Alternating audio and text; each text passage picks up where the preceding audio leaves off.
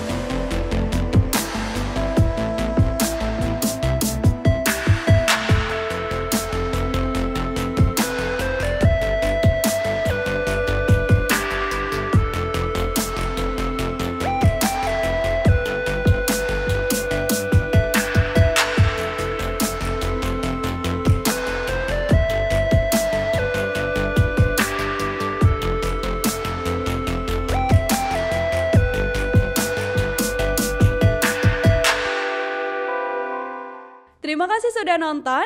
Jangan lupa like, subscribe, dan share ya.